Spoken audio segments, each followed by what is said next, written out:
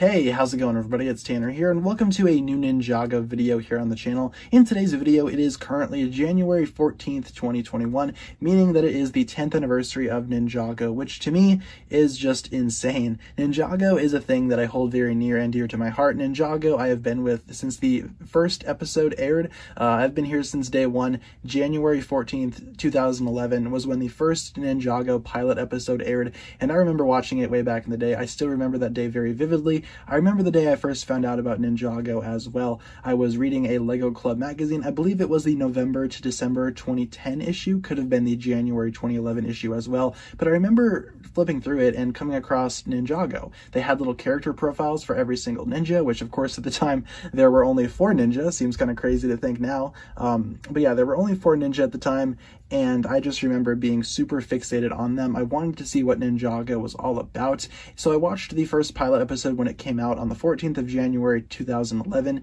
and I was just kind of blown away by it. And obviously, since I was so blown away by it, Ninjago has stuck with me ever since. I've been there for everything, which is something that I can't really say for a lot of other series and franchises that I'm a big fan of. For example, like Pokemon, I'm a big fan of Pokemon. I have not been there since day one. I wasn't even born when Pokemon first came out, but Ninjago Ninjago is a little different to me because Ninjago is something that I hold very dear to my heart and it's something that I've been with forever since it's begun.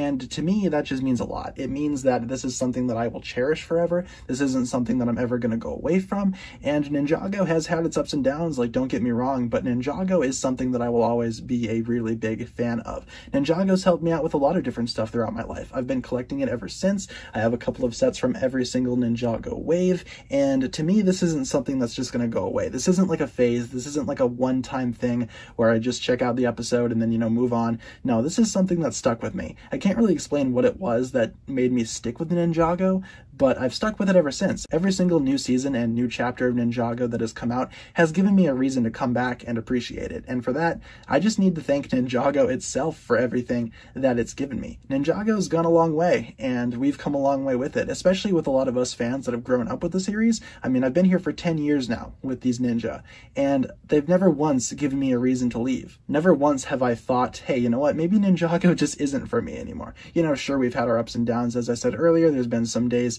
where I wake up and Ninjago isn't the first thing on my mind. and Maybe I'll like something else a little more. And again, I've pretty much been there for everything, and there's not really anything that's ever driven me away. Even when Ninjago was kind of canceled in 2013 and then it came back in 2014, that little gap of time there that we didn't have anything for the series, that never really, I guess, drew me away. I was always kind of invested, and when I heard Ninjago was coming back and that it wasn't over and that more stuff was on the way, I was just really excited for it. It was something that I never really thought could be, I guess, uh, going on for that long. Like Ninjago was originally supposed to last only two years, and the fact that we made it to 10 is just crazy. Of course, Ninjago has been doing everything to promote the 10th anniversary. We have the new Ninjago City Gardens set coming out, which I am going to pick up because Ninjago means a lot to me. No matter how stressed out I might be in my personal life or with uh, with making YouTube videos daily, because that does get pretty difficult at sometimes. I know that Ninjago is always going to be there, and I do need to appreciate Ninjago for that as well, because without Ninjago, I would not have a job on YouTube.